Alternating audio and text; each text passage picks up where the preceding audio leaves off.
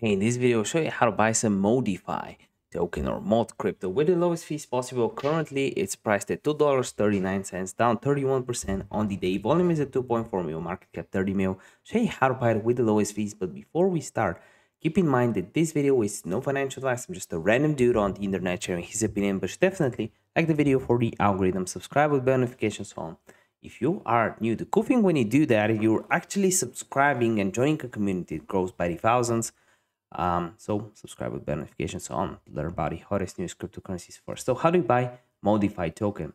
Um, the easiest you need two things to do that. First, you need a wallet. Personally, I use the MetaMask wallet. Go to metamask.io, click on download now, and it is a Google Chrome extension. Uh, you also need to buy Ethereum, and buy Ethereum with the lowest fees, you want to use Binance. There's a link for Binance in the description down below. Uh, just buy Ethereum there, transfer it to MetaMask. Then you want to go to coinmarketcap.com just like so, and in the search bar type in Modefi.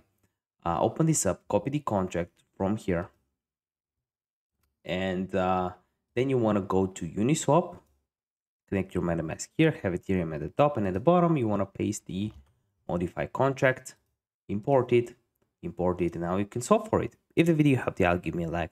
I want to see you in one of the next videos. Bye.